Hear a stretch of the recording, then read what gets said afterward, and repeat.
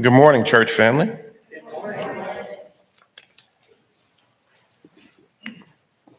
I, like the rest of you, I'm struggling with allergies this morning, so please bear with me.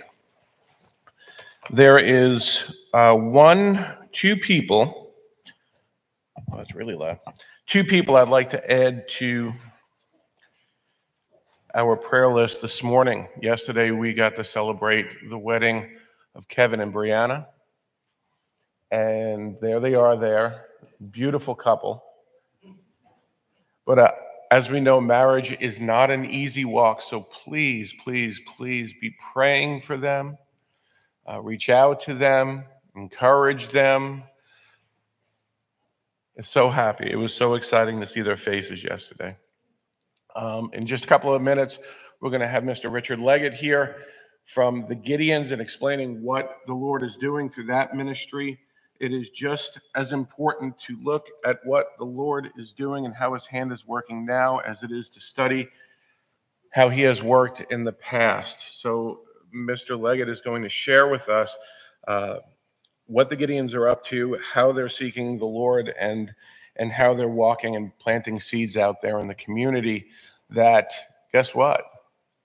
We can reap that harvest, us. So um, there's also, just so you know, the Gideons are not a closed group. They are not. I'm still staticky. Oh, that's too much. All right.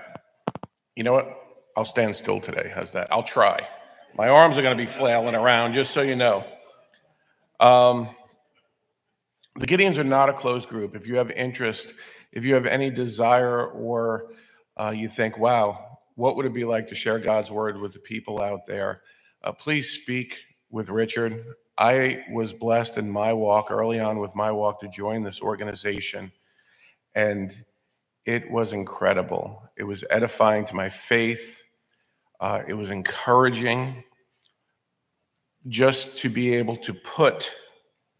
I have one here. One of these into someone's hands. And this is Psalms, Proverbs, in the New Testament. Uh, we know from Scripture the Word of God does not come back void.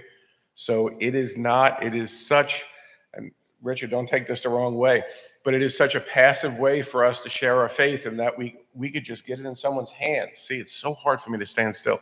We can just get it in someone's hands and then let his word and his spirit work in somebody. And that, as Mordecai said uh, to Esther, perhaps the Lord has brought you to the kingdom for a moment just like this. So, this could be your calling. So, please pray through that. And Mr. Leggett will be here for our uh, potluck afterwards to discuss this with you if you do have any interest. That being said, will you pray with me?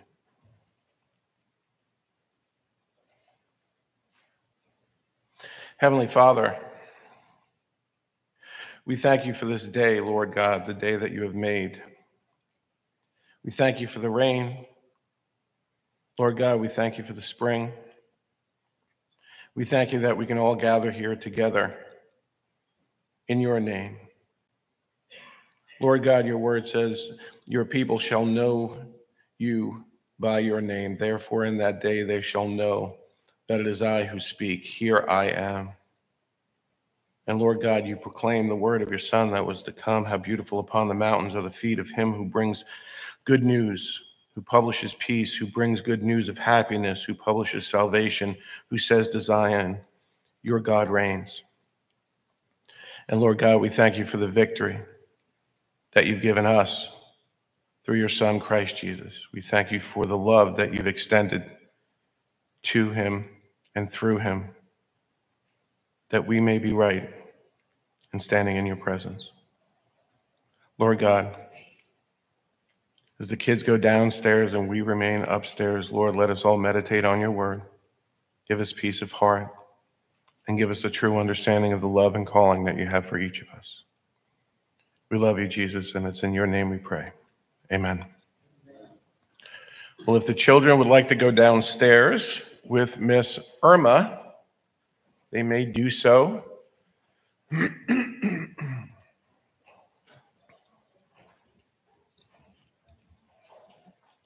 for the rest of us, we'll be reading uh, from the prophet Malachi, chapter 1, verses 6 through 14.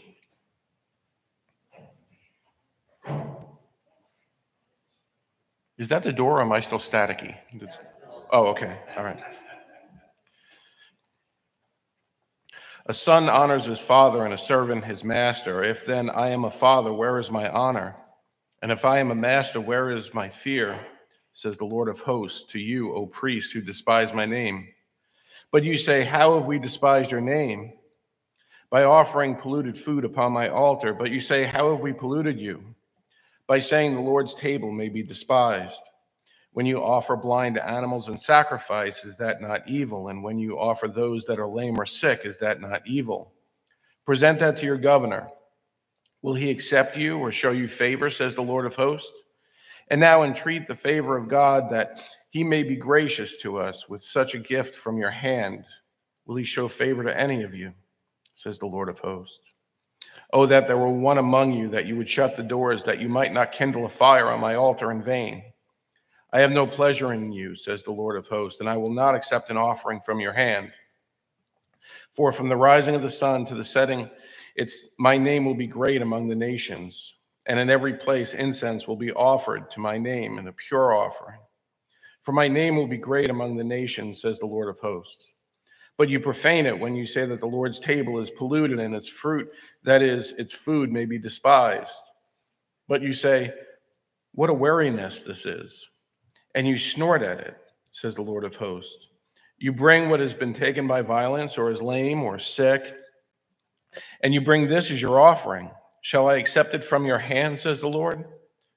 Cursed be the cheat who has a male in his flock and vows it, and yet sacrifices to the Lord what is blemished. For I am a great king, says the Lord of hosts, and my name will be feared among the nations.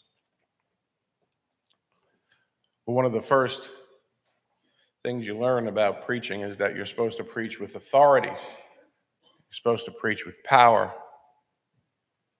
I would say that if a man is honest, there is no way that he can preach the scripture with authority or with power. J.C. Ryle says that if you give a man a Bible and a pen and a pad, He'll know the depth of his depravity very soon. And as you look at this particular text, it's very easy to do that. So, as I'm speaking to you today, understand that this is first coming to me and I'm preaching to myself, not out of authority, but out of understanding of my need for a Savior and the understanding of my need for sanctification. It's very easy when you start with looking at another group of individuals, and that's what we're doing here. We're looking at God's relationship with Israel, with the Jews that were returning out of exile. This was 450 years, some odd, before uh, the time of our Lord. And the prophet speaks to the nation of Israel after the erection of the temple and when uh, polluted offerings were being offered there as, as uh, a tribute to the Lord. Now, it's interesting because when you look at the priests that were offering this and you understand God's calling on them, God's purpose for them, and God's anointing, my goodness, what a blessing these men had. Does anyone know what the highest position in the kingdom of Israel was? It wasn't the king, it was the priest. The king governed, the king served, but the priest was to act as an intermediary between God and man. The priest was to offer up sacrifices. The, the priest was to step into the Holy of Holies, the high priest would. And we see here that the priests are now stepping in and they're offering sacrifices that are just good enough. God doesn't call the good enough. God calls us to be holy, to be set apart. God calls us into perfection.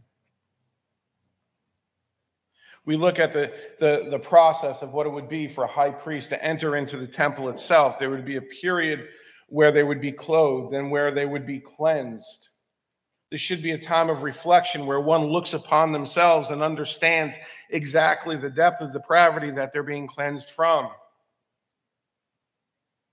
My goodness.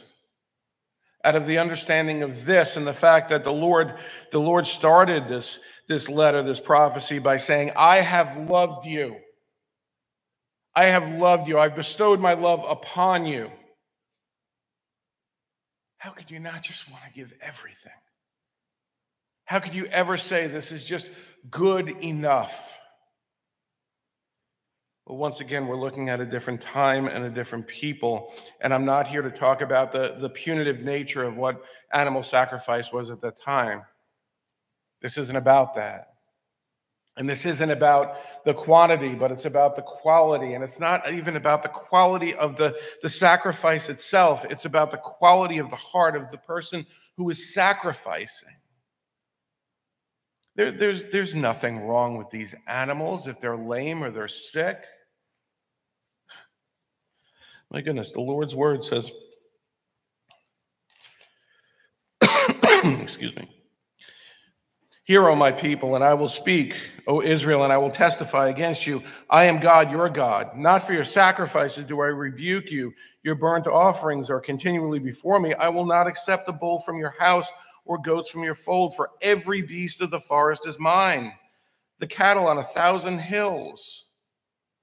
The lame and the sick God has created when we look at somebody who is struggling from a physical malady, or we look at somebody who's struggling emotionally or mentally, we understand that God can be glorified through that person. It's the same thing through, through the animals that were being sacrificed. But God calls the perfect not because there's anything wrong with the lame or the sick. The lame or the sick are His too.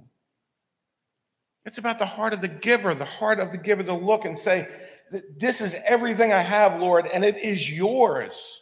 It is absolutely yours, and I want it, I want to give it to you. This was coming in a time when animals were not pets. You didn't, you didn't look at cows and just like every time you drive by a field and you're like, cow. It wasn't like that. They were utilitarian. They gave you food, they helped with labor. And you're saying to God, you know what, God? All of this is yours. All of this is yours. I'll sacrifice the food that should be for my own body, Lord, for you, because it is all yours, because of the love that you bestowed upon me, because of the lack of love that I bestow upon you. The Lord says, I know all the birds of the hills, and all that moves in the field is mine. If I were hungry, I would not tell you, for the world and its fullness are mine. Do I eat the flesh of bulls or drink the blood of goats? Offer to God a, a sacrifice of thanksgiving and perform your vows to the Most High. This is what we're to sacrifice to God. It's about our heart. From the first sacrifice that we read in the Bible, if we go back to Genesis 4, we, we understand the sacrifice of, of Cain and of Abel. And God accepted Abel's sacrifice. Why? Because it was, it was animal? No. God made the produce as well. But when Cain was over there sulking, the Lord comes and he says to him, he speaks to him with grace. He says, Why are you angry and why is your face fallen? If you do well, will you not be accepted? And if you do not do well, sin is crouching at your door and its desire is contrary to you, but you must rule over it. He's warning Cain, You're doing the wrong things. Your heart is not pure. We worship a God. We are created by a creator that is that constantly gives us a new beginning and a new beginning. And that was our promise, not only to us through Christ Jesus, but it was the promise to Israel as well. Through the prophet Malachi, we'll later read that he the last exhortation that he gives to them is return to me. Return to me, and I will return to you. Have faith in me. Have faith in the future hope of my son that will come to redeem you. That's grace. But grace, it does not come without the, the understanding of how far we have fallen. As we look at the prophet Malachi, I can't think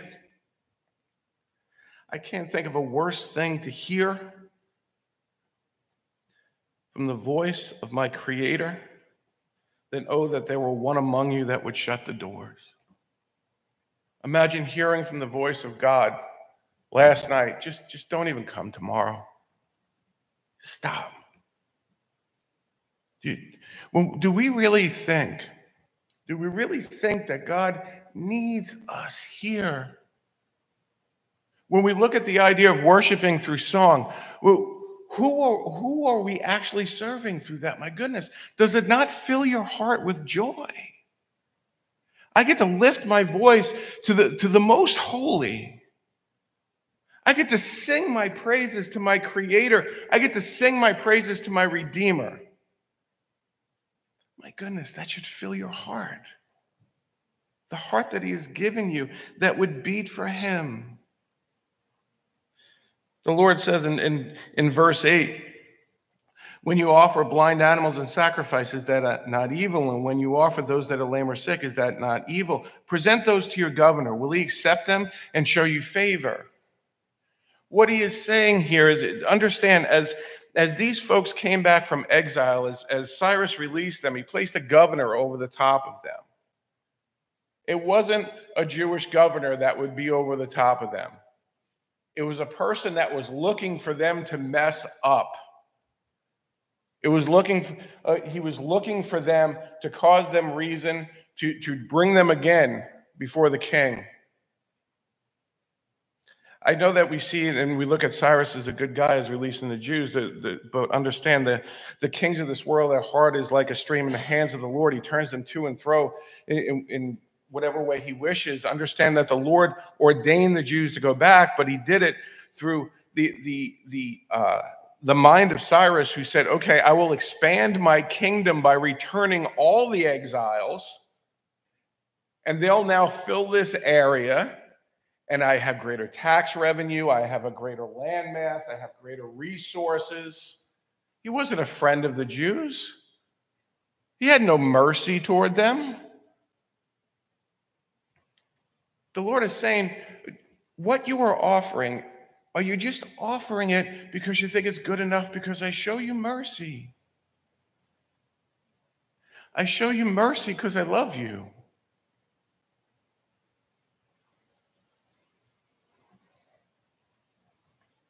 Now we live, we live in a different time.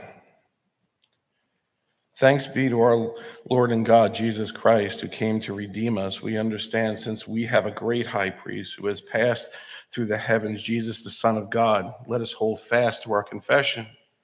For we do not have a high priest who is unable to sympathize with our weakness, but one who has in every respect been tempted as we are, yet without sin. Let us then, with confidence, draw near to the throne of grace, that we may receive mercy and find grace and help in time of need.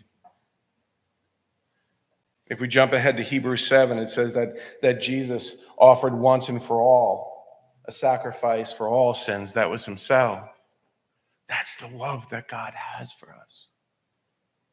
That's the redemption and, and the, the, the depth and, and how far he would go to redeem us. But understand through that, just as God had called out to his nation uh, of Israel, he now calls to us through Peter. We read, You are a chosen race, you are a royal priesthood, you are a holy nation, a people for his own possession, that you may proclaim the excellencies. Notice the plural, the excellencies. God is not just excellent in one way, he is excellent in every way. Of him who called you out of darkness into marvelous light. His love is filled with excellencies.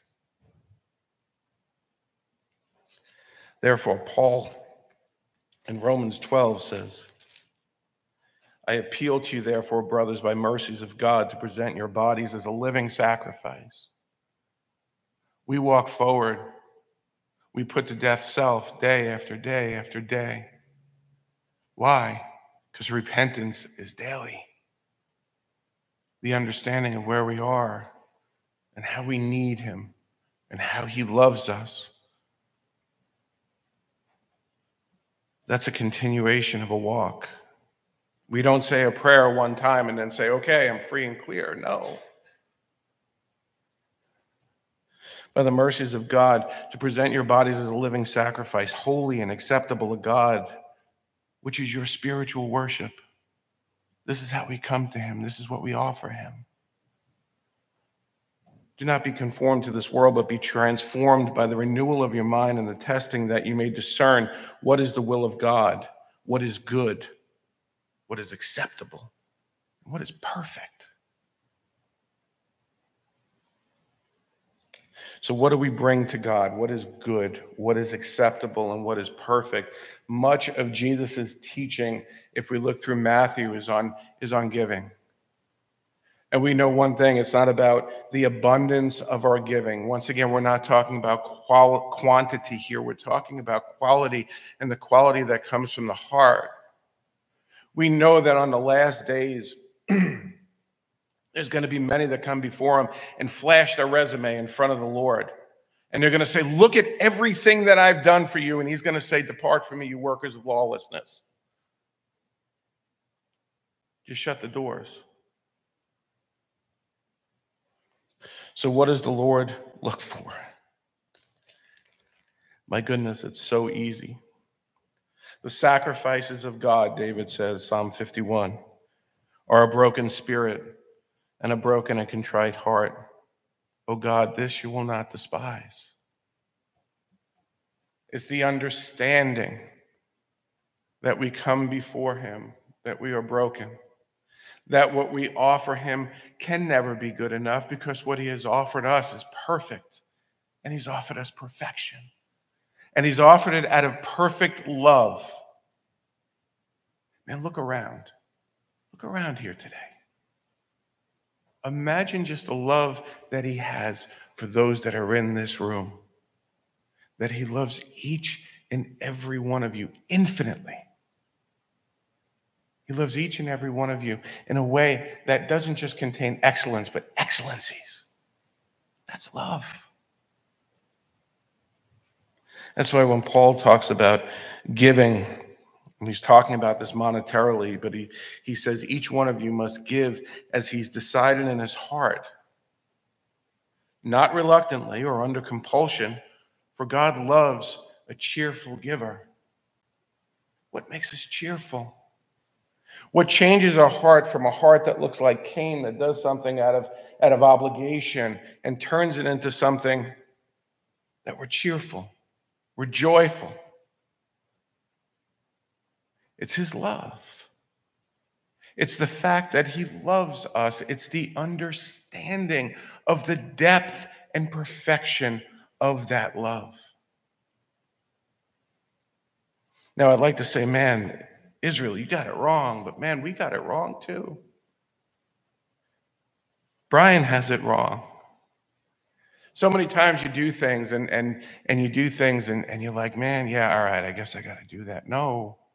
Anything that is that is a service to the Lord, man, it, you gotta do with a smile on your face. You gotta pause and say, God, and I do this every Sunday morning. I pray my way through Psalm 51. Cleanse me that I may proclaim your greatness. It's only through his righteousness that we can serve him. Otherwise, as Isaiah says, all our good deeds are like filthy rags before a holy and righteous God. And it's out of the love for that cleansing, it's out of the love for that righteousness that he clothes us with that we can serve him truly, that we can serve him wholly, and that we can serve him in a way that he desires.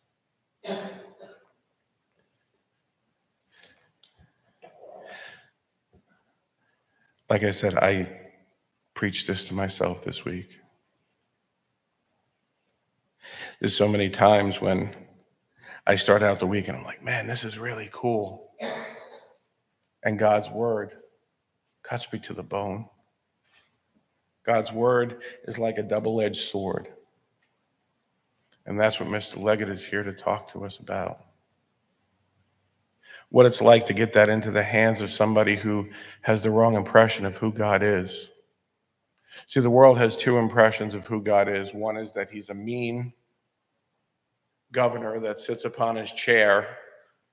He's this awful king that just sits there and waits to judge. And there's no way that I would ever deserve his grace.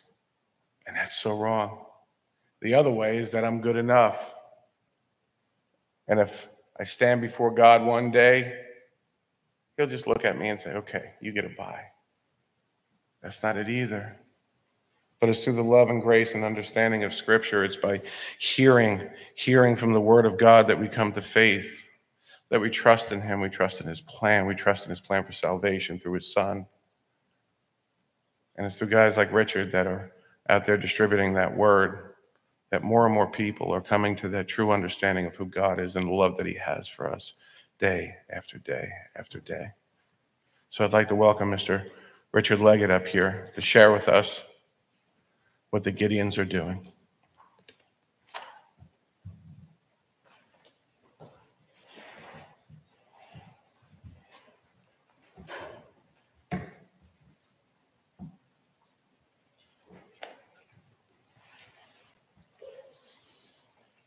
Can I have one of those? This past Monday, I was standing on the corner of Brambleton and Pleasant Hill Drive, which is the entrance to Hidden Valley High School. And I was participating in a Gideon scripture distribution. As I stood there and held out one of these Gideon New Testaments, a voice caught my attention. It was coming from the back of a Roanoke City school bus. And the guy on the back seat was saying, Hey, can I have one of those? Well, I looked, make sure there was no traffic coming, and then I quickly walked over to the bus. I said, Here, take two. And I gave him two copies of God's Word. And then I ran back over to the side of the road. Those were two of the 63 copies of God's Word that were distributed this past Monday to the students at Hidden Valley High School. A few moments later, a car drove up. There was two guys in there. And I said, Would y'all like a Bible? And one of the guys said, Well, are they free? I said, Sure. So I handed one to each one of those students. A little bit later, a, a female teenager drove up and she was sitting there at the, at the red light. And I kind of held up a Bible and said, Would you like one of these? And she kind of shook her head, No. And then she said, Well, I guess so. So I was able to give her one through her open car window A few minutes after that, another car stopped there at the light, and it was two guys in it. And I asked, Would y'all like a free gift? And I handed them a Bible, and they said, What's this? I said, It's a Bible. And they smiled, and I walked back to the, my corner. Things seemed to be going pretty well, and then I noticed that a Roanoke County police officer uh, pulled his car into uh, the parking lot right next to where we were standing and he got out of his car and he started walking to me. Uh, I prayed very quickly that um, we would not have any legal problems and that he would allow us to continue with our distribution. And uh, the officer came up to me and said, Well, you know, we've gotten a couple of calls about somebody down here stopping traffic. And I said, Officer, I wouldn't be stopping traffic. I'm just giving out God's word. And I offered him a copy of God's word. He re- uh, politely refused it, but he really didn't say anything other than, you know, I can't stop you from standing here on, on public property and giving, giving away or doing what you're doing. But he said, please stay out of the road. I said, I'll, I'll do my best, officer. So he drove off. And a few minutes after that, uh, a gentleman, an older gentleman, uh, was sitting there at the light and had his window down. And I tried to engage him in a quick conversation. I said, Would you like a New Testament? He said back to me, I've got plenty of those at home. I said, Well, I hope you read them. And he drove off. So that was Monday afternoon of this week. On Tuesday afternoon, some of my fellow Gideon brothers were at Cave Spring High School. Their strategy was a little bit different because if, if some of you may know that there's a church almost directly across the street from Cave Spring uh, High School, and that's the Penn Forest uh, Worship Center. And that church has made some arrangements with the school so that uh, a number of, of, students are allowed to um, park in the church parking lot so that they're close to the school. Well, the last couple of years, the Gideons have learned that if you're there when the, the school lets out, as people are walking back to their church or to their cars, you have a chance to offer them a New Testament. And over 50 copies of God's Word were distributed on Tuesday. So between Monday and Tuesday, over 100 students were given an opportunity to have a copy of the Word of God. It sounds like most of you are very interested and very uh, knowledgeable about the Gideons, but I just wanted to give you a little bit of history. The Gideon organization actually started in 1898, and the first Gideon Bibles were distributed in 1908. It took about 20 years before a million copies of God's Word were distributed, and that was in 1929. And believe it or not, the day before the 911 tragedy, the Gideons actually distributed their one billionth Bible. That was in 2001. And 15 years later, they were able to say they had distributed 2 billion copies of God's Word. As of about a year ago, we were up to 2.5 billion, and the latest figures I saw were 2.6 billion people had received God's Word through the Gideons. Now, it's kind of interesting. I just saw a, a, fact that the world's population is estimated to be approximately 7.9 billion people. And it's also estimated that about one third of those 7.9 billion people have never had the opportunity to hear the gospel of Jesus Christ. Now, if you think about that for a minute, one third of 7.9 billion is 2.6 billion. So I figured out that if every person that had ever received a Gideon Bible would just share their Bible with one person that never heard the gospel, we'd have the whole world covered. I want to just tell you a few, uh, a little bit about how I became a Gideon back in 2006. I was a member of church, and one of my fellow church members invited me to start going to a Saturday morning prayer breakfast. They met every Saturday at a local restaurant, and they had a time of prayer and they enjoyed fellowship at, at breakfast. As I attended this group, I saw that they were committed men, men that God was using to reach their communities. I eventually joined this uh, group, which is called the uh, Roanoke City West camp of the Gideons International. And over the years, I've been privileged to, to be able to do the two parts of the ministry that I really enjoy the most. Those are being able to speak in churches like this one and to be able to distribute God's word to students and to uh, adults. And really, our, our biggest um, distribution in this area is a, a, an event that happens every year, and that's the Salem Fair. So, for the past 10 years or so, the Gideons have sponsored a booth at the Salem Fair in the Civic Center, and we provide Gideon Testaments to anyone that, that's willing to walk by and, and to accept one. Let me just tell you one story about one individual that came to the fair. This was a, a gentleman that was pretty much down on his luck, very depressed, and actually that night was thinking about taking his own life. But as he walked around at the fair, one of the Gideon missionaries offered him a copy of the New Testament. The man continued walking around and was reading uh, in the, this copy of, of God's Word and God was able to lead him away from the thoughts about wanting to, to take his own life. In fact, this man became a committed Christian, and one of his joys in life was to be able to share with others how God had rescued him from the valley of the shadow of death. So, I'd like to tell you just a few ways that you too can be involved in the Gideon ministry.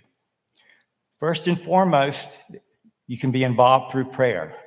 And one of the th- first things I noticed today when I, when I arrived was that this church is a church of prayer. You, you list your prayer requests very prominently in, in your bulletin, and it's obvious that, that you believe in prayer because prayer is the fuel that allows the Gideon ministry to continue. We'd ask that you would specifically pray for those hundred high school students that received New Testaments this week, that you would pray for the people who will be in the hotel rooms where Gideon Bibles are located. We pray that you would continue to lift up uh, the local Gideons as well as the Gideons around the country and, and around the world. One of the places that um, the Gideons have a very strong influence has been in the country of Brazil. Uh, the Gideons started distributing Bibles in Brazil back in 1958. And as of uh, just recently, uh, I think the, the total was about 212 million copies of God's Word. And a lot of those were done one to one, just like I did at schools this week. But some of those were done in what the Gideons refer to as a scripture blitz. That's where they go to a particular area and they try to find as many people as they can and as many opportunities as they can to give away the scriptures. And in the two um, blitzes that have occurred in Brazil, uh, one was in 2012, one in 2022, over a million scriptures were distributed uh, in each one of those. The second way that you can be supported by the Gideon ministry is through giving. And there are a number of ways um, that you can give. One is to use the Gideon insert that uh, you may have gotten or they're available in the foyer that allows you to make a contribution either by putting a check or, or cash into the envelope and either get, giving it back today or mailing it in. This um, bulletin also has information about um, how to use uh, an online site, um, the Gideons International, as well as using the QR code. In addition to using um, that bulletin, one other way to give is through what we call Gideon cards. And these are uh, greeting cards of you know a lot of different occasions, but the, the, the concept for the Gideon cards is very simple. Basically, the Gideons give you a free card, and then you can take the money that you would have paid for Hallmark or American Greeting or whatever, you can use that and it goes towards purchasing Bibles. For every $5 that is contributed, one full Bible or four New Testaments can be distributed. These cards can be, be available. I have some available, and we can get some more if uh, the church would like to have those. So you can be a part of the Gideons by praying, by giving. You can also actually take an active role in the Gideons. There's several ways to do this. One is by becoming an official friend of the Gideons. This allows you to receive additional information and updates about the Gideons. It also gives you the opportunity to participate in uh, our Bible distributions. A special way that young people and students can participate in the Gideon ministry is by using what we call the Life Book. This is a resource that was developed about 10 years ago that basically contains an overview of the Old Testament as well as the Gospel of John or the Gospel of Mark. And it's written in the um, modern American uh, translation, which is very down to earth and, and useful for teenagers. The beauty of this particular tool is that the Gideons can give these to middle school and high school students, and we have uh, had about 3.5 million students that have accepted these in order to distribute them to their peers at school, on school property, during school, and they become an arm of the Gideon ministry. Over the last 10 years, 48 million copies of the Life Book have been distributed, and that's another way that God's Word is able to get out. So I wanted to, to finish up by giving you um, a challenge. If you're a Christian business professional, I'm challenging you right here to, to seriously consider becoming a member of the Gideons. In Matthew 9, 37 through 38, it says, The harvest is plentiful, but the laborers are few. Pray therefore to the Lord of the harvest to send out workers into his harvest field. The Gideons are always looking for additional field hands to plant seeds in this ministry. We really need you. If you are truly interested in making an impact on your community, then please see me after the service or at, at the meal that we're going to enjoy, and I'll be happy to get you some more information about the Gideons. I'd also love to tell you about some of the other uh, local uh, distributions that have happened, and I pray that you would uh, ask me questions. I, I, I, love to talk about what your local Gideon ministry um, missionaries are doing. I want to thank you uh, Roanoke Church of Christ. And thank you, Pastor Brian, for allowing us to be here today and to provide this update.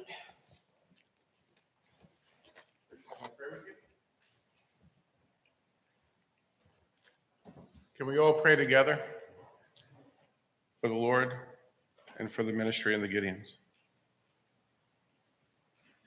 Heavenly Father,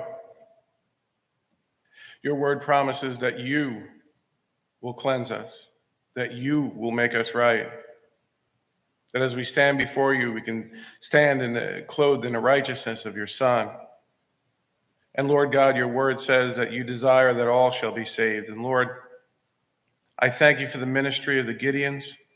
I thank you for the heart of these men that you have placed among us, that, that they would go out, that they would lower pride and go into situations, even if they, they know that they're not going to be received well, Lord God. Because just as for you, you left the 99 for the one, Lord God, we know that out there, every moment of every day, there is the one that's looking for hope, that's looking for you. And Lord God, we pray that you, you lift up the faces of those who feel as though they're not worthy to stand before you. And you lower the pride of those who feel as though they're as good as you. And Lord God, I pray that you equip this ministry of the Gideons, that they would seek them out. As you're doing the work and softening their hearts, Lord God, I pray that you would, you would make clear the paths of these men that go out to distribute your word.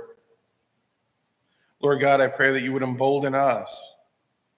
As Paul says, uh, one reaps, another sows, Lord God, and I pray that you would equip us, embolden us,